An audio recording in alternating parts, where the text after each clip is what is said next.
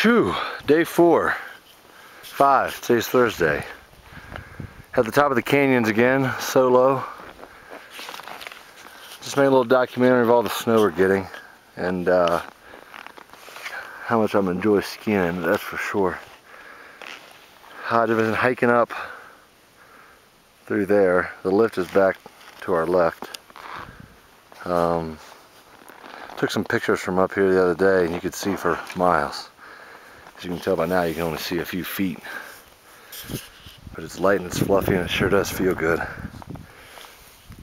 Got the skis, got the pack, poles, goggles. Oh, I'm ready to go. Rest a little bit longer. I'm gonna head out through these trees and around and come out down about right there and then go whoop, choom. Good day. Good powder day.